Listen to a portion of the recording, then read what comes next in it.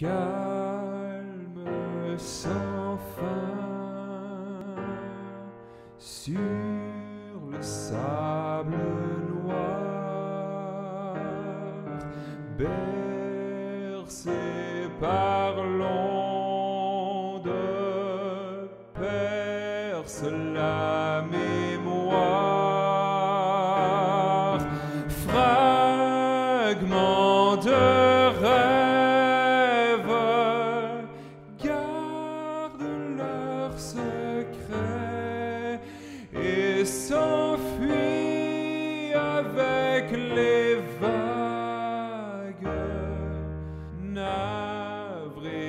Je regrette.